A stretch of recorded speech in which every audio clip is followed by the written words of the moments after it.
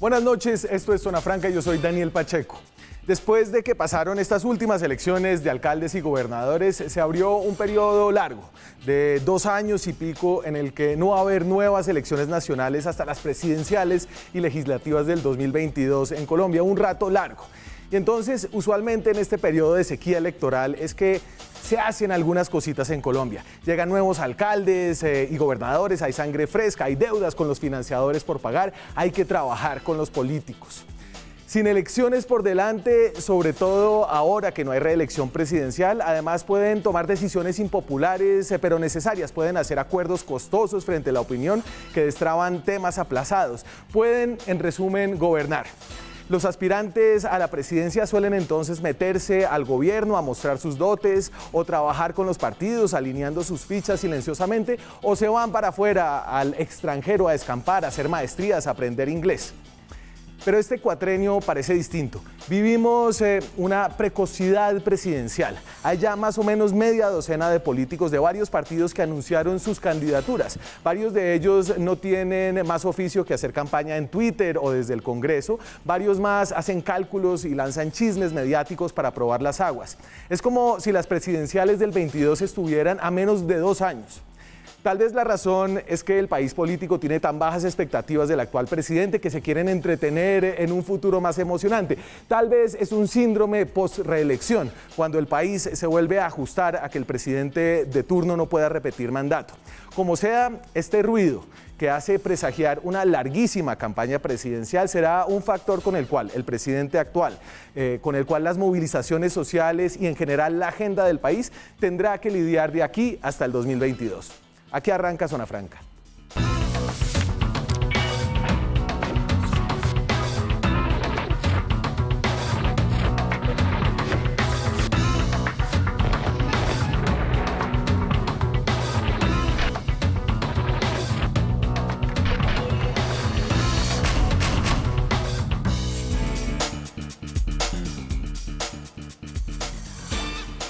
En este programa sobre la precocidad presidencial eh, tenemos sangre fresca para Zona Franca. Increíble que uno siga encontrando gente nueva para venir aquí a hablar y especular. Eh, Claudia Dangón es eh, abogada constitucionalista, es analista política, politóloga, escribe una columna en El Tiempo y tiene también un espacio en Todelar. Claudia, es un gusto que esté aquí esta noche. Gracias Daniel por la invitación, un gusto estar en Zona Franca y saludo también a mis colegas panelistas. A Juan Felipe Muñoz lo importamos eh, del extranjero, eh, trabaja por fuera, eh, pero fue aquí en Colombia por un periodo, ¿qué tan largo?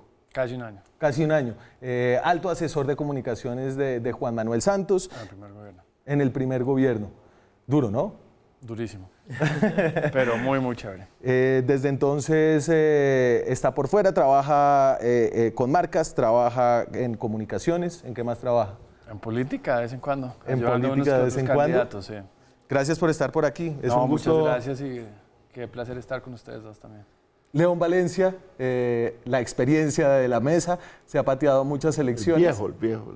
Ah, no, usted es eh, padre de una hija pequeñitica, o sea, tiene... Me dicen los amigos, usted sí es loco. Pero ahí estamos, una hija de tres años. ¿Tres? León Valencia es director de PARES, eh, la Fundación Paz y Reconciliación, que hace análisis político, análisis del conflicto eh, y a veces algo de activismo. A veces. Eh, algunos dicen que política, pero bueno, eso lo podemos discutir en otro programa. O en este también. También. ¿Qué más, León? Muy bien, muchas gracias por la invitación. Pero a ver, y, usted que, que, entonces usted se dice el viejo, en, esa mirada larga que usted tiene como de la política colombiana, ¿hay en este cuatrenio y en este momento una especie de precocidad presidencial? Yo creo que obedece a tres factores. Uno, que, hay una remanente de candidatos enorme de la anterior campaña de 2018. Hubo un momento en que quedaban como 50, no cabían en ninguna revista o en un periódico cuando hacían los candidatos, llenaban una página entera con pequeñas fotos. Hay un remanente de candidatos que van a seguir aspirando, eh, los que perdieron y los que vuelven al ruedo. Segundo, eh, hay unos cambios en el mapa político enormes y una emergencia y, mucha gente se va a creer en la posibilidad de llegar. Porque es el reflejo que dejaron las la, la- la lucha por las alcaldías y la lucha por las gobernaciones. Un poco de gente improvisada llegó y se ganó las alcaldías y, y otra gente que venía, que, no, que venía haciendo política, pero que realmente era muy nueva en la política, en- tenía cinco o seis años de hacer política y llegó a puestos muy importantes. Entonces eso queda una sensación y es, podemos, cualquiera puede ser presidente, esto está muy abierto, la política se abrió mucho. Eso es eh, el otro tema. Y la, otro, la tercera que usted lo acaba de tocar en la presentación es que eh, la crisis eh, del presidente, la crisis del, del gobierno, la enorme crisis en que está, pues adelanta la campaña. Todo el mundo está pensando ya, digamos, empezamos a, a- a debates grandes con el propio presidente. Hay una incertidumbre muy grande y, y hay escenarios, algunos casi impensables, pero que en algún momento puede ocurrir. Digamos, Duque eh, hacía una figura, yo es como un boxeador eh, que le están dando una paliza en una esquina y el, y el entrenador por, de- por detrás dándole cocotazos también. O sea, es una figura en una situación muy difícil. Creo yo a esas tres cosas le atribuyo en que ya empezaron a saltar candidatos presidenciales. Claudia. Pues yo creo que yo coincido con, con León en que, digamos, las candidaturas prematuras tienen que ver, por un lado, con el escenario que dejó y con las lecciones que dejó eh, eh, las elecciones del, del año pasado, que muestran un país político distinto, que está empezando a cambiar, con expectativas diferentes, con un descontento respecto de los partidos políticos tradicionales, de las instituciones políticas tradicionales, ya no simplemente en el discurso, sino que se hace en realidad a través de quienes fueron elegidos gobernadores, alcaldes, etcétera, etcétera. Sí, son fuerzas nuevas, son personajes que vienen de afuera, eh, que no están atados a la política necesariamente, que representan, digamos, una población más joven de la que normalmente te- estábamos acostumbrados a ver en esos cargos, o por lo menos, eh, digamos, afiliadas a partidos o movimientos tradicionales. Mm, Por otro lado, creo que tiene que ver también un poco con la situación social que está viviendo el país, con la protesta social, con la manifestación de una, también de un segmento de la población que hasta hace un tiempo no se manifestaba tan em, contundentemente. Independientemente del pliego de peticiones, las razones de uno o de otro, de las calificaciones que se den a esas peticiones, creo que lo que se ve en las calles es gente muy joven, que es un voto además Sí. que siempre ha sido muy apetecido y muy difícil de capturar. Entonces creo que estas candidaturas prematuras tienen que ver con la necesidad, con la idea, con la intención de ir capturando ese voto joven finalmente. Entonces ahorita ya hablamos de cuáles son esas eh, candidaturas, de cómo está el mapa, pero eh, ¿cuál es su, su plante, Juan Felipe? Eh, tres cosas. La primera es, a raíz de las elecciones de alcalde y gobernadores, los independientes vieron que es posible, que se puede, porque no pasó en una sola ciudad, sino en varias ciudades. Lo segundo es, los nuevos candidatos vendieron la idea de la no corrupción, ¿no? que eran unas caras un poco tu punto, que eran jóvenes. Entonces la gente le va a poner atención y hoy en día hay mucho... O sea, la, gente busca quién es el candidato y profundizan y es la gente, no los periodistas tradicionales. Lo segundo es eh, las redes sociales. Las redes sociales sí están cambiando la manera de hacer política. Entonces, quien sepa manejar las redes sociales puede hacer la cosa de una manera distinta. Ya no depende tanto de los partidos. Entonces, el comodín, diría yo, y lo que va a definir todo esto es si surgen nuevos liderazgos en todo este proceso de la famosa conversación de Duque. Eso ocurrió en Chile, ¿no? Una Camila se volvió una senadora. Sí.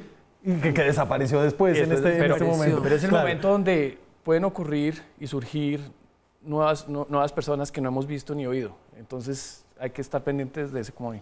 Eh, y, y entonces aquí voy a hacer lo que usted decía, es eh, la- las foticos chiquiticas eh, que tienen que hacer la revista y, y- y por allá en las revistas importantes eh, siempre tienen que soportar las quejas de los políticos que se quedaron por fuera eh, o de los muy importantes que no se vieron bien en la foto que escogieron. Esta es la nuestra, nuestro ruedo, y es increíble que estemos hablando de esto a más de dos años de las elecciones del 2022. Eh, y, entonces ahí tengo, digamos que una especie de, división eh, en, en el rango ideológico. Eh, y aquí se quedan por fuera, ¿cierto? Pero entonces tenemos a los de izquierda, Petro, que apenas perdió las elecciones, ya era otra vez candidato inmediatamente, eh, navegando en los 8 millones de votos que se han ido desgastando eh, a, a, través de estos meses. Er, Jorge Robledo, eh, quien nos pone un poco a hablar de esto esta noche porque salió en un anuncio muy formal, eh, atípico, ¿no? Hacer campaña ya a la A lanzar la candidatura. Sí. Eh, Camilo Romero eh, ha lanzado eso, fue precandidato antes, él fue- viene de ser el gobernador eh, de Nariño, era una, es, una figura eh, que se presenta como refrescante dentro del Partido Verde, dentro de la izquierda. Eh, está el exgobernador Amaya de Boyacá, que apunta de Ruana y lucha contra el fracking. Y, no sabemos mucho qué más todavía, eh, se ha vuelto o está tratando de aspirar un poco a la escena nacional. Eh, Del centro político, ahí lo de Rodolfo Hernández eh, podrá ser criticable, no sabía muy bien dónde poner el, el- el exalcalde de Bucaramanga, un hombre empresario, centro. ¿no? Centro. No, no, yo no sé, Rodolfo Hernández es difícil de descifrar. Eh, está obviamente Sergio Fajardo que juró, rejuró que es que la campaña del 2018 iba a ser la última campaña que iba a hacer en toda su vida, eh, pero más o menos que como tres semanas después de las elecciones se volvió a lanzar. Y ya está haciendo campaña también, eh, al estilo Petro eh, y, Robledo, abiertamente, eh, abiertamente diciendo que quiere ser candidato presidencial. En la derecha, Paloma Valencia ya dijo que quería ser candidata para el 2022. Eh, Rafael Nieto lo ha insinuado no tan claramente. Paola Holguín, que es senadora del Centro Democrático, se lo dijo a La Hora de la Verdad que ella iba a poner su nombre a aspirar. Está Marta Lucía Ramírez, eh, está eh, eh, Carlos Holmes, que Holmes es el, es el- el nombre, no el, el apellido, Carlos Holmes Trujillo, eh, el actual ministro de Defensa, que cuando era canciller eh, eh, salió con eh, el anuncio medio en chiste, pero medio poniendo sus fichas sobre la mesa. Y está Federico Gutiérrez, el exalcalde de, eh, ¿qué? de Medellín. Y me falta aquí, obviamente, Alex Char, eh, que es el exalcalde de Barranquilla. Faltan otros, ¿no? Sí. Vargas Lleras vuelve y repite. ¿Usted cree que Vargas Lleras vuelve y repite? Estoy Yo sí creo. Sé. ¿Qué más? Eh, Pues hablan siempre de Antonio Navarro, un hablan político de. profesional que dice, hombre, ¿qué va a hacer Julano y tal? Pues ser candidato. Peñalosa, ¿qué va a hacer? Ser candidato. Vargas Lleras, ser candidato. ¿Qué, va- qué- qué otro oficio, digamos? Es su oficio, la política. Y en la política es un, es un deporte de alto, rendimi- de, de alto rendimiento. Y es el que no va al gimnasio, eh, pues pierde músculo. En cada campaña están, cuando me preguntan a mí, ¿Mocus va a ir a esa campaña? Sí, señor, va a ir. ¿A, a qué? No sé, pero va a la campaña próxima. Y siempre iba a la campaña próxima y siempre decía que no iba a ir. Mocus, que no era un que no, no- no- su origen no era de un político profesional. Yo creo que todos van a la política, todos los candidatos y, eh, y- y digamos que algunos ya de salida. Pero, por ejemplo, Navarro, ¿qué va a hacer Navarro? Vuelve a la candidatura. Ese sí, creo. Antonio Navarro. ¿Qué más? No lo veo haciendo otra cosa. Pero, pero vuelve a la candidatura como Lucho, digamos, se lanzó a la alcaldía de Bogotá. Esa. Ah. Que es como una, uno, uno se lanza así porque, porque en- en- se aburre estar en la casa, porque se da cuenta que está pasando demasiado tiempo con la mujer, entonces dice, no, pues yo tengo que ponerme a hacer algo, eh, No. porque si no me, No, me lo hacen porque creen, digamos, todo, todo el mundo cree que puede y que por una circunstancia puede llegarle la posibilidad.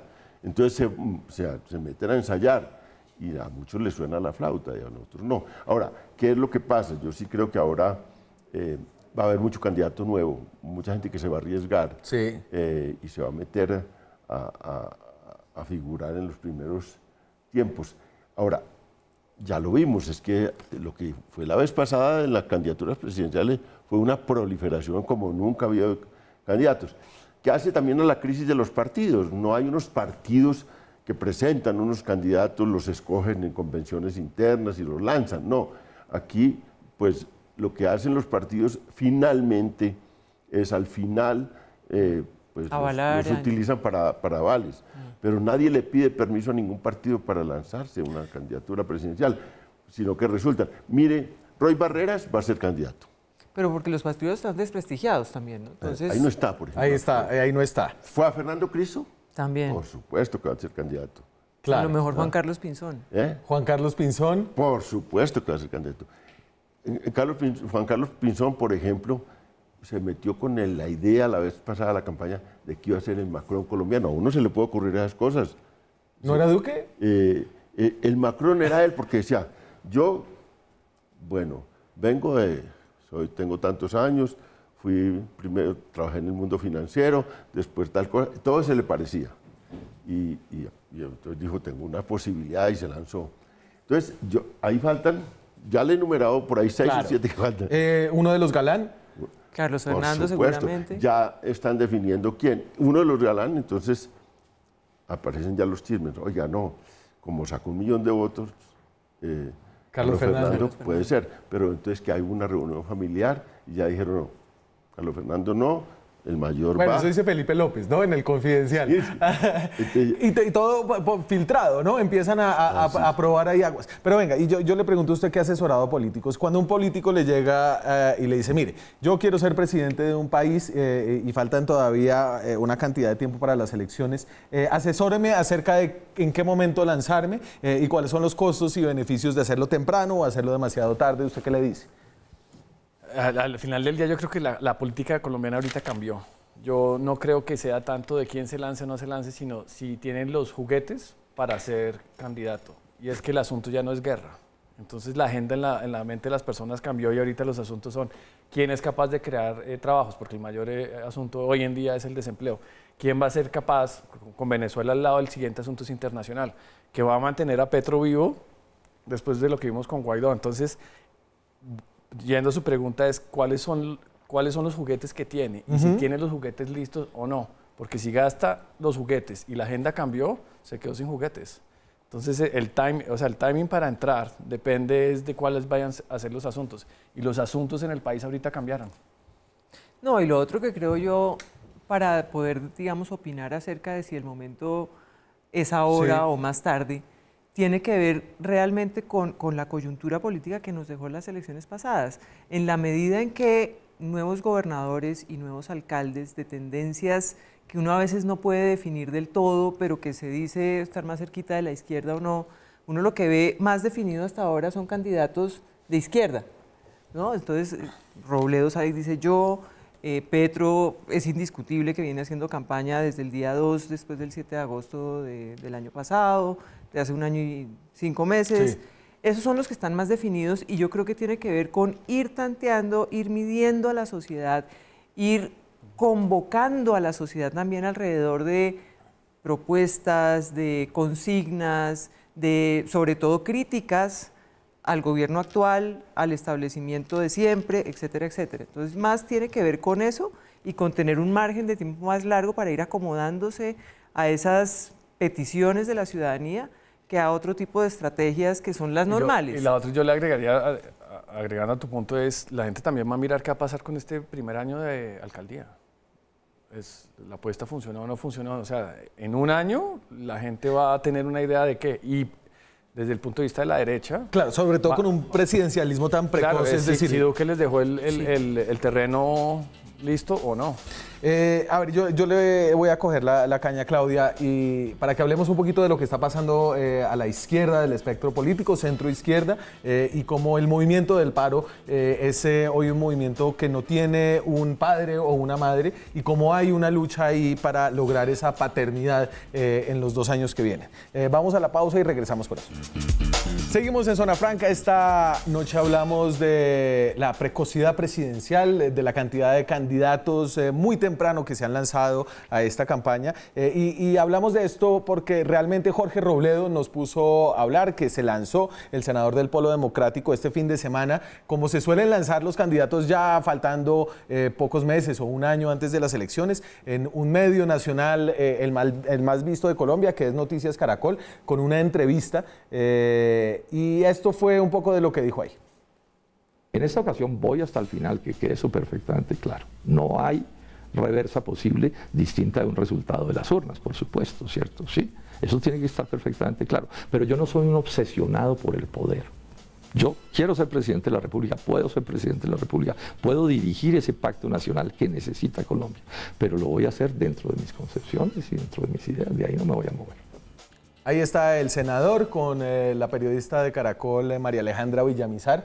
Eh, voy hasta el final. Obviamente, esto dicen siempre cuando se lanzan, pues uno no se lanza a decir que, no va a llegar. Pero, a, ver, ustedes tenían una discusión y usted sí decía que hay, digamos, un asunto más marcado en la izquierda donde son más explícitas las candidaturas, Claudia.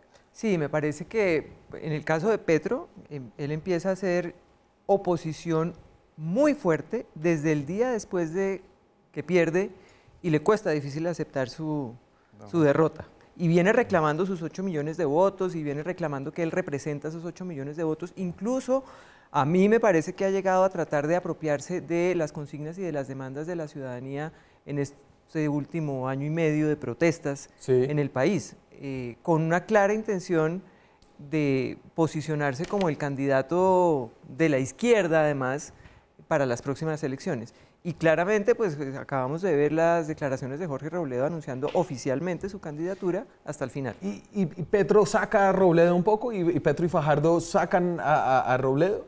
No, es que lo que ha ocurrido en los últimos eh, años, tanto en la política local como en la nacional, es que hay unos sedazos, y un primer sedazo son las encuestas, cuando entonces la gente se lanza, y van a entrar muchos. A medio camino pues prueban, si, primero porque las encuestas tienen esta situación y es que, digamos, si va quedando que no figura y no figura y no figura, primero no hay quien le dé plata para hacer campaña, ¿cierto? Y segundo, pues todo el mundo le está diciendo, no, hermano, pero usted ha sido un político serio, usted es un señor ya, y usted mira que no figura nada y lo van apenando y se retira. Ese es un primer sedazo. Luego viene la idea de las coaliciones eh, y viene, es otro sedazo y es cómo se pueden agrupar con, una posibilidad de futuro. Y finalmente los que llegan, cuando ya en el último tramo, digamos, de primera vuelta, ese es el otro sedazo y quedan, y hay, un, y hay un premio de montaña también que son las parlamentarias. Las parlamentarias sale mucha gente, luego viene la primera vuelta, ya ahí quedan ocho candidatos, normalmente. Y de los ocho salen dos y necesitan y ya hoy en día se necesita coalición incluso para llegar. Entonces son, esto es una carrera, una, un tour de Francia, un fin, con unas etapas planas, en las etapas planas hay 50 candidatos, en las etapas planas, entonces empieza el lote, se empieza a depurar es en la montaña. Entonces vienen los premios de montaña. Está muy de metáforas deportivas. Sí, y, en eso, y, cuando y, eso de, la carrera se depura en esas en esas cosas. Yo creo que estamos, vamos, empezamos muy, rápido la carrera y estamos en las etapas planas, va a haber mucho espontáneo que se va a mover. A veces uno, incluso yo en Mamá o Gallo he hecho broña, mm, bromas, hermano, voy a hacer una encuesta y qué tal que figure. Si figuro con dos punticos, me, eh, me, lanzo. Pues dos puntos ya es un poco de gente. Y, y ensayo a ver la cosa como es. Pero eso ocurre, a mucha gente ocurre. Gente que hace, se gasta su plática 30 millones de pesos y dice, voy a ver, a chequear, y de ahí para allá salgo. Yo lo que veo, y, esto pues va a ser muy fuerte por la apertura del mapa político, por la, por eh, la incertidumbre que hay en el país frente a, la, a la política, porque ve que mucha gente, porque si en Bogotá es que, esto es una Si Daniel Quintero puede ser alcalde de Medellín, yo puedo mujer, Oiga, mujer, clase media y gay, llega a la alcaldía de la principal ciudad del país. Todo el mundo puede. Eso, eso es, es un hecho no solo nacional, pero mundial. Siguiendo ese punto, entonces. Y, tienes, y, llevaba cinco años de hacer política. A mí se me hace que todos los que se acabaron de lanzar, se lanzaron es porque saben que se les va a venir una ola de, personas que no saben quiénes son y los van a bajar. Entonces lo que quieren es como figurar. primero. No, figurar. Pero pisar que porque no saben qué están pisando. La, la, es puro de figuración y, fíjese la, la, reflexión de Robledo. acá hablando de ellos. Fíjese la reflexión de Robledo ya en la campaña pasada. Por eso dice que va hasta el final. Ya la reflexión de Robledo a su partido, a su núcleo más cercano, esa vez le dijo en la campaña pasada, hombre, yo quiero ser candidato presidencial y salir. Yo no quiero ser senador yo quiero retirarme de la política, o llegar a la presidencia o retirarme de la política por la puerta grande, siendo un candidato. Para él fue un sacrificio, en realidad, él decía, yo ya he estado mucho tiempo en, el Senado. Yo estoy aburrido en el Senado. Yo Con no quiero todos los premios de mejor senador y, y, yo quiero ir a jugarme a la presidencia y a salir por la puerta grande ahí, pero no quiero volver a ser senador. Lo obligó el partido a ser senador. ¿Por qué? Porque pues si incluso, no se hundía la lista. Porque si no se hundía la lista. Y prácticamente le dijeron, oiga, retírese de la candidatura presidencial porque va a sacrificar este partido. Nosotros, sin usted no podemos, no llegamos a, no tenemos umbral. Aquí están, aquí están, hablando solo de senadores, pero por ejemplo, ¿qué pasa con los nuevos ministros? O sea, no, Duque va a tener que crear un nuevo gabinete. ¿Será que va a haber ahí nuevos líderes que eventualmente logren tener. Bueno, bueno entonces vámonos eh, para allá. Solamente decir una cosa de lo de Robledo. Esto no es que Robledo decidió que se va a lanzar a la campaña presidencial. Robledo se está lanzando como candidato del Polo. Mm. Es decir, él tuvo que ir a hablar con Iván ah. Cepeda, tuvo que ir a hablar eh, eh, con los demás partidarios, con Alexander López, gente que no es necesariamente de su línea política del MOIR, a decirles, bueno, esta es mi última, ¿no? Y después verán ustedes qué hacen, ¿no? No, no fue que él se levantó una mañana y dijo, ah, es que voy a Solito anunciar no. Entonces, los otros. Eh, el ruido de Char. Venga, le pongo, le, pongo la, foto que nos puso a hablar, la foto de, Char y Simón Juanse. Eh, Simón Gaviria, el hijo del expresidente César Gaviria, estuvo de vacaciones en Barranquilla eh, y se tomó esta selfie con Alex Char. Ahí está, Simón Gaviria se ha puesto unos kilitos. Eso pasa cuando uno se va a Estados Unidos, eh, allá... Sí, gracias, ¿no? Pero bueno, que allá se engorda, se engorda todo el mundo. Eh, ahí está Simón con Alex Char. ¿Y el de, ¿cuál es el que toma la selfie? Ah, ese es eh, Miguel, Miguel Gómez. Miguel, ¿no? Miguel Gómez del Partido Liberal, el, ah. el, que fue cabeza de lista de César Gaviria. Y, entonces esto pone a hablar a todo el mundo, eh, porque Alex Char se decía que salía de la alcaldía con una gran popularidad, una gran gestión, eh, a reforzar el, el, gabinete del presidente Iván Duque, y ahora está hablando con Simón Gaviria, el hijo del presidente del Partido Liberal, quien está en la cuasi oposición al gobierno eh, actual. ¿Cuál es la pregunta? Pues, pues ah, diga, ¿qué le, suscita la foto? ¿Qué está pensando Alex Char? Me quito la cachucha, me pongo la corbata, me vengo un poco como el punto de León, lo que usted está viendo es las olas. Es una, son diferentes olas y las Robledo y los de atrás están tratando de desarrollar esta la siguiente ola. Entonces hay que ver es cómo, cómo van esas dos olas, las olas moviéndose. Pero entonces, pero ellos tienen que pensar ahorita, ¿no? Están tienen que mantener, Charles tiene que mantener, tiene que ver la manera de mantenerse vigente para aguantar dos años, porque ahorita, ¿qué es lo que va a hacer? Entonces, pero además, no solamente mantenerse vigente, sino hacerse conocer en el resto del país, porque él es muy popular en el Atlántico, muy popular en Barranquilla, pero no sabemos si en el Ese es un clan político, ese es un clan político que en este es un clan político muy fuerte, muy fuerte que se lanzó sobre en esta campaña local a hacer alianzas en todos los departamentos y en varios ganó con sus, con sus coaliciones. En uno fue es el rey en Barranquilla, en el Atlántico. Ese clan político va por la presidencia.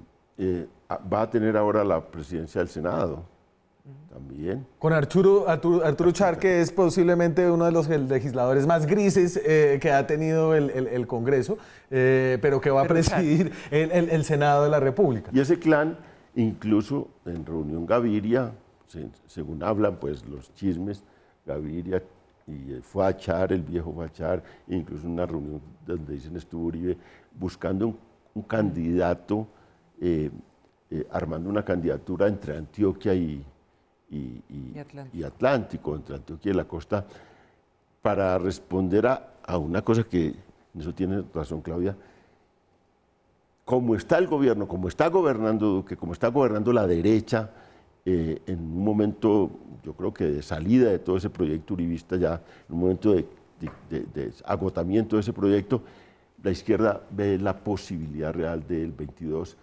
por, por, el agotamiento de ese proyecto, pero también porque es que va, la gente nueva va a tener una posibilidad. Hay un cambio, digamos, de lo que es el patrón electoral. Va a entrar eh, va a ser mayoría. Esta gente entre 18 y 34 años, 34 años, va a ser una mayoría aplastante, digamos, de los votantes. Es una oportunidad de una nueva generación de votantes. Es el bono demográfico electoral, digamos. que ingresa y que, va a y que va a definir las elecciones. Digamos, hoy en día, lo que ocurrió en la definición de las pasadas elecciones, eh, que muchas, entre 45 y 65 años un- una definición, ahora lo van a definir entre 18 y 34 años. Pero entonces, eh, y a ver, les voy, les voy a poner la última eh, Gallup de- del presidente eh, Iván Duque y de Álvaro Uribe. Y estos son obviamente unos números que están mirando todos los que están del centro a la derecha, donde hay un panorama político, digamos, más abundante.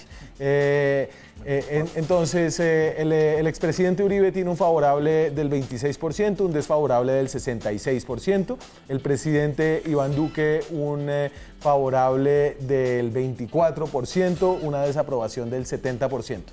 Están muy parecidos, ese es el margen de error de, de- de esa Gallup.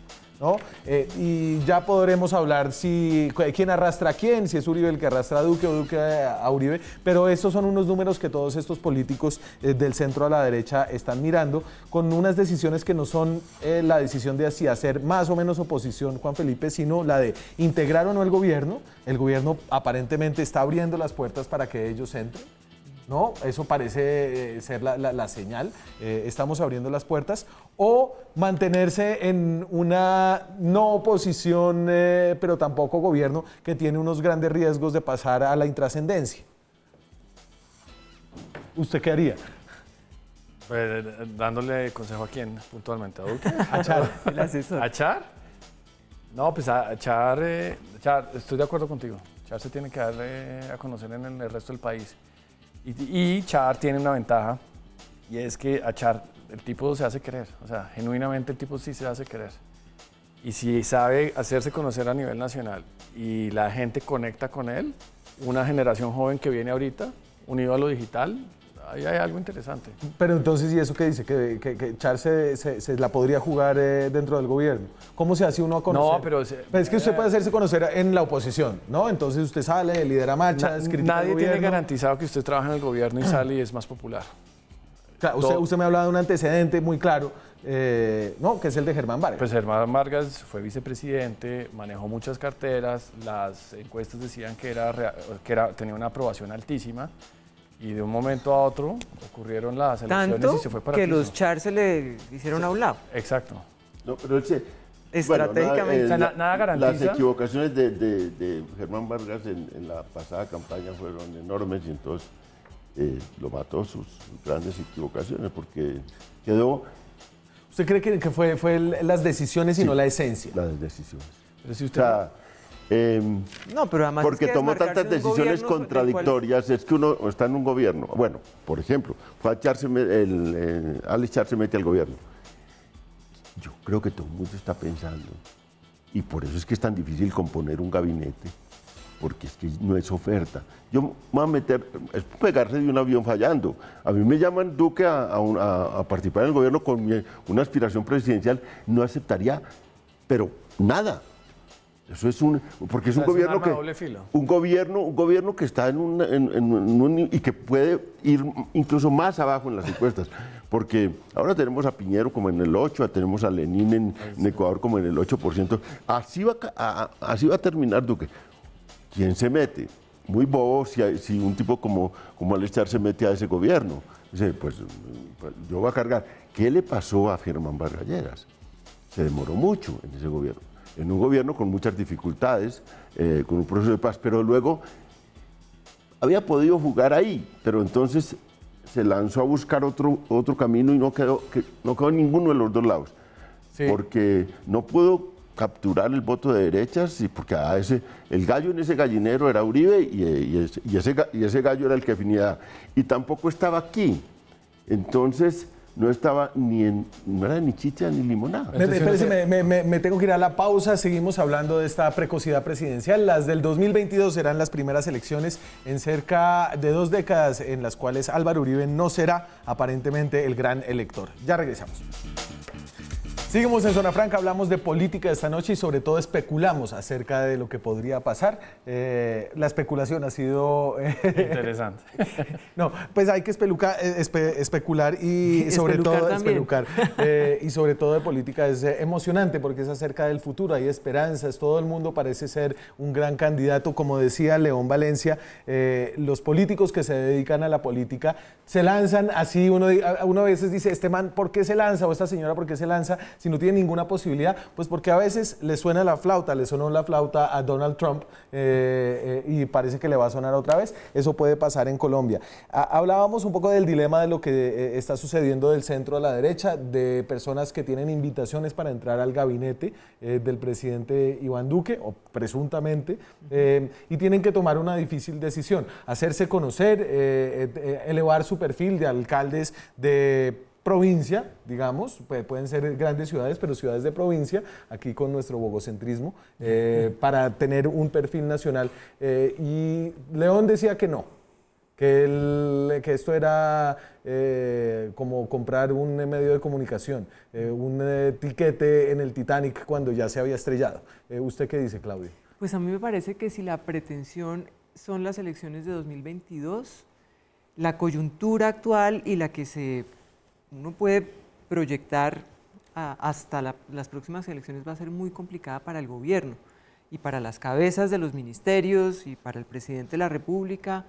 le van a seguir dando muy duro, además porque si las candidaturas se basan en eso, si uno se, se fija, quienes han mencionado que tienen interés de manera tácita o explícita, lo que han hecho es tratar de separarse un poco totalmente, radicalmente o por pedacitos. Incluso los, de la, los que se califican como de derecha, no nos sentimos identificados, eh, aquí se pueden hacer otras cosas, criticamos que no tenemos plena participación en el gobierno, etcétera, etcétera. Entonces, yo creo que si la pretensión es 2022, en este momento aceptar un ministerio para estas figuras como Char, eh, con Char, Federico Gutiérrez, Dilian Francisca, todo. Sí, yo, eh, yo creo que estratégicamente para sus, ambiciones políticas, no debería ser eh, una perspectiva para considerar. Ahora, si de lo que se trata es de usar su experiencia como mandatarios locales, como personas que estuvieron cerca de una comunidad de manera más importante que un presidente de la República y tienen una vocación altruista, yo aceptaría. Son dos cosas distintas. Entonces, ay, ay, ay, la vocación altruista de la política colombiana. Ah, no, no, no. Eso sí de buenas intenciones. Mire, yo, yo soy de buena fe, tengo buena fe, yo creo en la política todavía y la política de esa naturaleza y además la defiendo y, y lucho porque sea así. Entonces, por eso hago la aclaración. Si la perspectiva es solo política, politiquera y con ambición de esa naturaleza, pues no, por esas razones que he mencionado. Si, la, si hay vocación y de alguna manera se puede aprovechar esa vocación para posicionarse un poquito, pues sí. Em, y entonces, ¿qué van a hacer los que están dentro del gobierno? Y aquí recuerdo, aquí podemos recordar a Carlos Holmes Trujillo, eh, que esto fue, ¿cuándo? Ya les digo cuándo fue. Esta fue su salida precoz eh, a, la presidencia, 8 de febrero de 2019. Hace un año. Sí. Este es eh, el hoy ministro de Defensa. Llegado el momento, se los diré, pero aquí entrenos que no salga de Colombia, claro que sí, yo voy a aspirar en el 22. Era, incluso está, el gobierno llevaba ocho meses, ya estaban unas dificultades enormes. Ya estaba en, un, en 29% en las encuestas. Y, fíjese. Eh, pero eso le costó, se, se tuvo que echar para atrás, se Pero este, por ejemplo, Carlos Holmes, digamos, sabía algo de política exterior porque había sido embajador, porque había estado en Bruselas, tal. Sabía algo de política exterior y fue un fracaso en la política exterior colombiana. Y allá sabía algo. Lo cambiaron, lo movieron porque ahora eh, las limitaciones, digamos, para, del, del, presidente para encontrar su gabinete es tal que entonces lo pasó a una cartera para la que no sabía, nunca había sabido nada, que es de seguridad y defensa. De manera que, que que bueno, fracasó en la que sabía, las posibilidades de que triunfe en la que no sabía es, todavía más grande. Y, yo creo que se va a ir esquemando en, ese recorrido de puestos. Mire, los que eh, ahora eh, figuran o, suenan para los nuevos cambios de ministerio, son gente que pasa de un ministerio a otro. Entonces ahora se habla de, Alicia Arango pasa de trabajo a a, interior. interior. y eso habla de una falta de disponibilidad, digamos, eh, eh, para, para, llenar puestos de, que necesitan alta confianza del presidente. Por un lado, pero por el otro lado, si usted lo que está, si usted cree que es candidato, acepta ser ministro de Relaciones Exteriores para tener el, no, como el check en Relaciones Exteriores, defensa, para tener el check de defensa. Lo mismo, no me sorprendería de pronto uno de estos nuevos ministros quiera ir a ser ministro de Medio Ambiente, ¿no? porque ese es, eh, hablando de la nueva generación, ese es el gran asunto. Vi hace poco en Twitter una encuesta que le hicieron a los nuevos estudiantes y era por qué quería usted estudiar economía y creo que la respuesta, o sea, Sí, el sí, asunto sí, más de- importante desde Juan era Camilo Cárdenas. eh, cambio climático, cuando otros años en era Davos hacer- le acaban de hacer la lo encuesta mismo. a, a- a los eh, líderes y empresarios. Entonces, entonces si, punto- antes, si antes defensa y relaciones internacionales eran importantes en Colombia, no me sorprendería que en muy corto tiempo eh, medio ambiente sea una cartera interesante para... Pero a ver, pero entonces metámonos en la cabeza de, eh, de- de- de Carlos Holmes, de Marta Lucía Ramírez, eh, de Paloma Valencia, de Paola Holguín, de Rafael Nieto, eh, que están en el partido de gobierno o, o parte de la coalición del gobierno, que no pueden hacer la de echar, de hacer como una independencia crítica y constructiva, que no pueden hacer oposición. Cu- ¿Cuáles son un poco lo- los espacios que les quedan a estos? Tienen que, tienen que ver cómo le va a Duque, porque es que Duque les puede dejar el terreno plano o bien complicado y yo diría en este momento que tal vez va a ser muy complicado.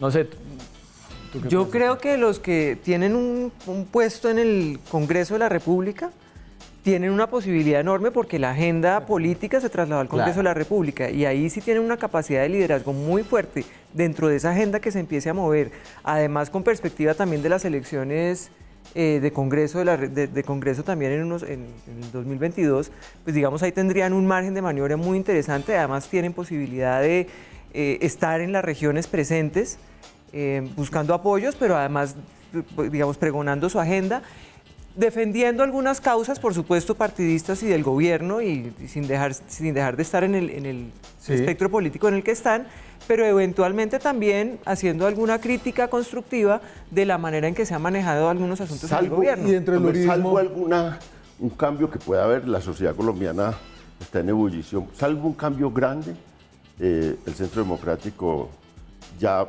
tuvo la- una derrota enorme en las pasadas las locales, elecciones locales. El Centro Democrático realmente es una fuerza que está en, una de- en- en- en unas dificultades muy grandes y creo que va, va- va, digamos, a hoy no tiene ninguna posibilidad de repetir en el 2022. A hoy. Ninguno de ellos. Me Eh, encanta predicciones pero, pero puntuales. yo creo que existe una... A hoy. No, pero eso es el centro. Pues yo sí creo que hay una oportunidad interesante para el Partido Conservador si sabe eh, reinventarse. Ahí lo van a, lo van a llamar. Me queda eh, una pausa, nosotros yo creo. ya regresamos. Es lo que creo. Hay una oportunidad, es lo que veo. yo. Seguimos en Zona Franca eh, y en la pausa usted, usted nos va a convencer cómo el Partido Conservador tiene una posibilidad, Juan Felipe. No, yo, eh, sí, estábamos hablando acá, eh, en Inglaterra Sí. eh, existía el partido el Labour Sí. y en el año 96-97 eh, salió Tony Blair y creó el, El New, New Labour. Labour. Yo creo que aquí el Partido Conservador se quedó demasiado conservador y demasiado viejo, pero si reinventan el partido, creo que hay una oportunidad. Ahí, ahí hay, ahí hay Sí. una oportunidad donde podría surgir una figura. Mm, Tendría que cambiar Omar Yepes, tal vez. eh, No. O el Omar Yepismo, tal vez. No, tiene que ser alguien Tiene que, que no ha hacer estado, varias tiene que ser- cosas. o sea, tiene que, Varias. pero Juan hay Carlos. Pinzón. Juan Carlos Sí, es que una pasa es que- dentro del partido, podría a- ser. ataron mucho su, su- su- su destino al, a- a- al uribismo que es el que, está, que ha, ma- ha mandado, digamos, dentro del Partido Conservador eh, y, y es el que ha ganado elecciones con ellos. Y salvo una cosa que es impensable, pero en una situación de crisis como la que se ve, puede renunciar Duque y la- única salida institucional que tiene este país es Marta Lucía Ramírez. Sería una- un, un camino distinto para que Yo, yo lo veo desde el punto de vista. yo No, lo veo pero desde eso el- sí no va a pasar. Yo lo veo desde el punto de vista que hay un descontento en la clase media genuino y nadie ha sabido articular eso. Y, si- y el, quien logre abordarlos eh, tiene oportunidad. No, el si estamos hablando del Partido Conservador para jugar en las próximas elecciones, hay tiempo de hacer una cantidad de cosas. No sé si exista la voluntad, pero una de esos es reinstitucionalizarse como partido político y dejar de ser un grupo de congresistas, cada uno buscando su mejor interés Sí. y no defendiendo los postulados del Partido Conservador, que no son los que le achacan hoy en día los opositores al partido, incluso el Centro Democrático, sino la agenda del Pero, Partido Claudia, Conservador vol- histórica. volvió a quedar en manos de sido- Pastrana y de Marta Lucía. que además ha sido esa agenda totalmente, eh, digamos, no defendida por el partido y por lo tanto tomada por otras, por otras aristas ideológicas. Pero entonces, eh, y venga, y yo, yo me agarro de lo, que usted dice, esta va a ser la elección de la clase media eh, en Colombia, la de dos años y pico, la elección del 2022. Eh, tal vez Colombia no ha tenido una elección así presidencial, siempre han sido las elecciones de, la guerra, de la paz, de la negociación, no la negociación, del continuismo o, no. Eh, y aquí ya vamos al elemento más especulativo de este programa. Eh, deme de todo este eh, mara de candidatos eh, los que a usted le parece llenan las, eh, las cajitas. En este momento, Sí. ninguno. Ninguno. Ninguno porque es que la gente cambió. Toca ver qué va a pasar en estos dos, tres meses del famoso eh, conversatorio nacional. Bueno, ah, la, la del diálogo. usted lo que está viendo es, eh, que hablamos con León al principio, la izquierda y los sindicatos salen a un paro, Sí. pero en el centro uh, una clase media sale a marchar y, y hay un descontento genuino que el gobierno no ha sabido, nadie ha sabido articular. Ni siquiera el paro. Exacto. Como vimos ayer, digamos. Y eso va a definir qué va a pasar hacia adelante eh, en mil aspectos. Y usted, no lo ve todavía. Y- no, no. no. No, ve al presidente Hoy en día no. de, de Colombia En todavía. este instante no. Eh, Claudia, no, no le voy a decir obviamente quién va a ser, pero eh, ¿qui- ¿quiénes, eh, digamos, que llenan esas cajitas para ese nuevo país que usted cree que va a, a- a ser el del 22? pues digamos que llene las expectativas de lo que la ciudad ve hoy que está reclamando en su integridad, ninguno. ¿Cuáles creo que tienen posibilidades por su manejo, por su experiencia, por sus tácticas y estrategias? Eh, muy a mi pesar, debo decirlo además, Petro. Em, en este momento, Petro. Y faltaría ver cómo se empiezan a mover los del otro espect- espectro. León. No, yo, no, yo creo que esto está muy temprano y que no hay ninguna... y- y hay que ver cómo, cómo reaccionan. A ver, ¿qué- ¿cuáles son las preguntas que usted eh, quiere eh, que se respondan antes como de poder a- aventurarse a decir cuáles eh, son los que van a ser los Primero- del pelotón de, de escapada? los alcaldes. Estos alcaldes nuevos, cómo van a gobernar y si tienen éxito y si, y si, si- y si, digamos, los que están al lado de los que dependen de eso, cómo, cómo va a quedar, es una primera pregunta. La segunda pregunta que yo creo es eh, cómo le va al presidente, cómo le sigue yendo al presidente Duque. Si, esto, si él no sale de ese foso en que está, eh, es otra cosa. Por eso, hoy, hoy, Hoy, ¿cómo están hoy, las hoy. cosas? Y otra pregunta es mm, eh, la protesta social. Eso de la protesta social, si digamos, si esa protesta, la estrategia del gobierno sale y, y la placa y la conversación le, sa- le resulta, pero si esa, si esa gente sigue en las calles y, y esto se prolonga, pues el, el- panorama es muy inci- incierto y ahí sí, digamos, dependemos de, de, de- de outsider y de gente que, que surge de ese, mismo, de ese mismo movimiento. ¿Alguno tiene un outsider que nadie ha visto y que ustedes van a ser los primeros eh, eh, en, en decir eh, ese podía ser? No se me ocurre en este momento. Ahí ya, pues, ya tenemos como toda la carne en el asador, ¿o no? Pues de lo que se alcanza a medio ver, sí. Bueno, no sé, sabe que eh, también se ha hablado de él, pero no lo hemos mencionado acá, es Luis Alberto Moreno. Ah, ese es una... Es, es una ficha muy interesante. interesante. Pero si a Duque le va mal, se lo van a cobrar muy duro. No creo. Claro, porque era el jefe. Pero en el el BID y BID, tiene, no, pues tiene el BID y tiene todos los tecnócratas, los, los que se vinieron del BID mm, para pero acá. tiene experiencia en Colombia, ha Sí, hecho ¿Qué política. van a decir? El hijo suyo, mire, fracasó usted, lo No, vamos a poner al sí. No, no, pero, eh, Puede ser un argumento, pero no creo que no, sea pero porque tiene contundente. un- es importantísimo que los Pero tecnócratas Felipe, del BID vengan. Es que Felipe hila muy delgado. Imagínense, dice, no, pero imagínate. me voy, me voy con ese outsider. Muchas gracias a ustedes por estar aquí esta noche. A ustedes muchas gracias. Nosotros nos vemos eh, mañana con más periodismo, con más debate, con más opinión. Chao. No, pero no es es-